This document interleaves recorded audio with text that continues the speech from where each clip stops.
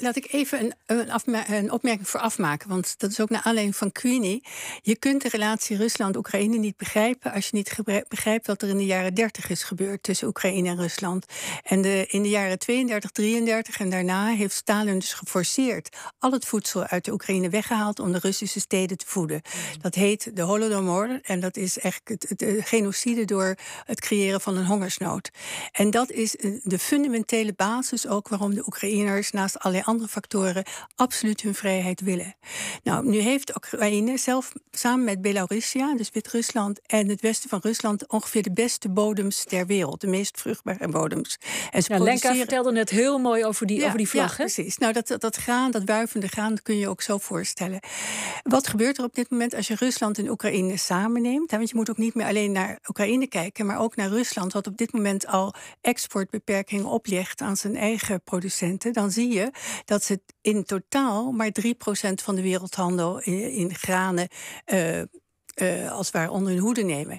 Maar dat werkt heel erg ongelukkig uit voor een aantal landen. Dus voor de wereldmarkt in zijn totaliteit zou dat niet zoveel moeten uitmaken.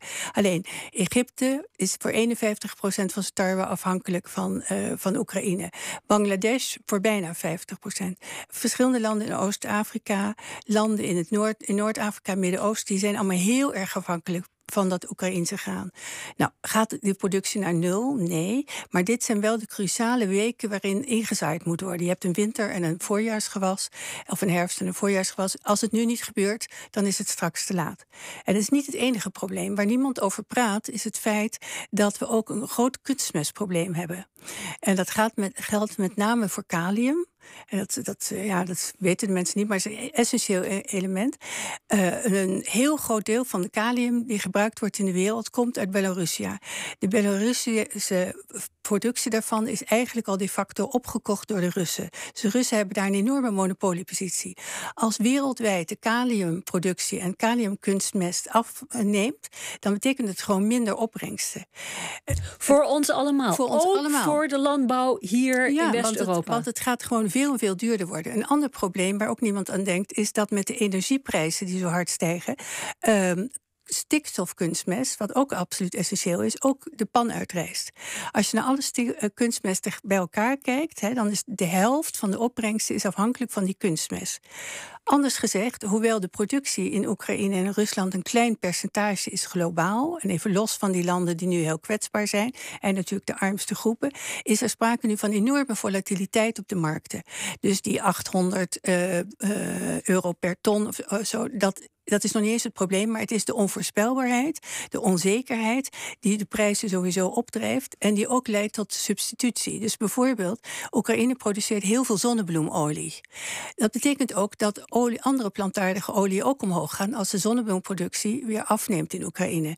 Dus het is een heel ingewikkeld netwerk. Daar komt nog bij dat door, uh, de, door, door COVID ook de containers allemaal schaars zijn, dat de hele aanvoerlijnen eigenlijk al op een bepaald paar momenten plat zijn gaan liggen. Dus we hebben straks een enorm logistiek probleem, een energieprobleem, een voedselaanvoerprobleem, een probleem van koopkracht. En natuurlijk treft dat weer de mensen in de armste landen. Ik ben er even helemaal stil van het, is echt, dat is, ehm. het is echt serieus. En er is natuurlijk een, een, korte termijn probleem van wat gebeurt er nu.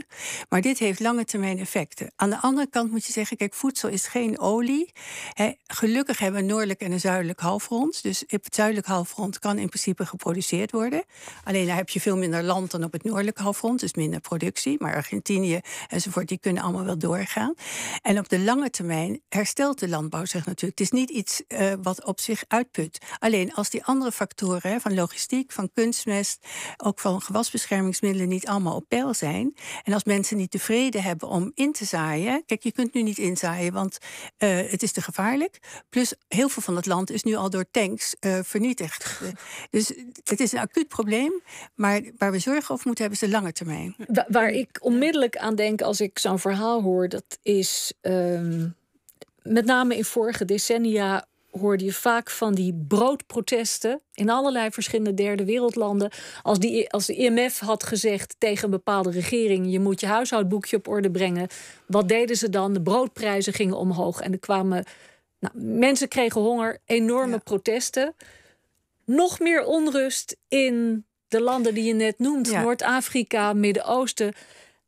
Maar het is ook een kwestie eh, van echt slecht beleid. Hè? Ik bedoel, Egypte was ooit de graanschuur van het Middellandse Sterker nog, daarom, daarom wilde Caesar uh, Egypte en Cleopatra. Ja, ja, ja. En, en je hebt dus in heel veel van die Noord-Afrikaanse landen en ook in Afrikaanse landen is er dus systematisch niet geïnvesteerd in de landbouw. Jonge mensen trekken weg, dus er is ook helemaal niemand behalve oude vandaag die nog op het platteland zitten. Ze hebben ook heel vaak de import gesubsidieerd. Dus er is gewoon ook een heel slecht beleid. En dat was dus iedere keer het probleem met het IMF. Die zei dan, ja, je mag niet zomaar subsidie aan voedsel geven. Gevolg is dat mensen gewend raakten, hè, dat speelt ook nu in India, aan lage prijzen. En je moet op een gegeven moment moet je wel zorgen dat je echt een gezonde economie krijgt. Dus je kunt niet niet eindeloos daarmee doorgaan. Maar op korte termijn gaat dat ongetwijfeld leiden tot meer onzekerheid, meer angst ook, hè, ook trauma's. Hè, maar, ik bedoel, we hebben het altijd over trauma's hier in Nederland. Maar het grootste trauma wat ik ooit in mijn leven heb gezien, is het trauma van ouders die hun kinderen niet meer kunnen mm. voeden. En het feit dat als een slecht gevoed kind heeft een slechte hersenontwikkeling, met alle gevolgen op de lange termijn voor de samenleving. Zie je ook oplossingen? Vraag ik hoopvol. Ja, ja, dat denk ik wel. Kijk, op zich kunnen we heel goed de wereld voeden. En je moet iets doen aan die armoedebestrijding. Betekent investeren in, in werkgelegenheid ook. Betekent af van, van allemaal rare subsidiekranen. En gebruik dit moment ook om te zorgen dat je ook elders, dus niet alleen in Europa, een duurzame landbouw opzet. Want het probleem is ook nog dat door toenemende droogte en, en klimaatverandering, bijvoorbeeld warme nachttemperaturen, die nog erger zijn dan warme dagtemperaturen voor, voor granen, en moet je dus nu gewoon gaan zorgen dat je ook het goede gaat planten en dat op een goede manier doet en efficiënt met water omgaat. Dus het is een enorme revolutie. Maar tegelijkertijd ben ik ook altijd wel optimistisch. Er is ontzettend veel jonge, intelligente mensen. Dat als je ze de kans geeft om dit soort werk te doen, dan willen ze het ook wel doen. Alleen nu is het natuurlijk een soort dead end. Wie gaat er nog met de handen in de landbouw voeten? Niemand natuurlijk. Maar laten we zeggen, over een jaar. Want deze revolutie, het vervelende is altijd, de revoluties komen meestal pas na grote nood. Hmm. Wat gaan de gevolgen zijn van de ontwikkelingen die je nu schetst voor over een jaar? Nou, ik denk dat heel veel instabiele regimes nog instabieler gaan worden. En, en, een land waar ik me ook echt zorgen over maak zijn Pakistan en India. Dat zijn hele grote consumenten, heel afhankelijk van Rusland voor energie en voor, voor, uh, voor granen. Dat zijn, uh, je hebt nu al voortdurend voedselonlusten onder Modi, India's premier. Dat gaat niet weg. Eh, en die landen moeten ook echt zorgen dat ze, dat ze gewoon serieus gaan kijken naar hun eigen economie. En dat is over een jaar niet, niet opgelost, maar er is geen teken dat ze het nu gaan doen. En misschien, denk ik dan, blessing in disguise, dat zo'n crisis die er nu aankomt hen ook dwingt om echt serieus orde op zaken te stellen. Midden-Oosten, Noord-Afrika? Ja, Midden-Oosten, Noord-Afrika. De, de, redenen, en ook trouwens in, in delen van West-Afrika, de redenen voor, voor armoede daar zijn zo structureel, zoveel corruptie ook. en zo weinig kansen dat je daar een enorme vluchtelingenstroom mag verwachten. Zo simpel is het. En die komen deze kant op? Ja, die gaat niet naar Zuidelijk Afrika. Nee.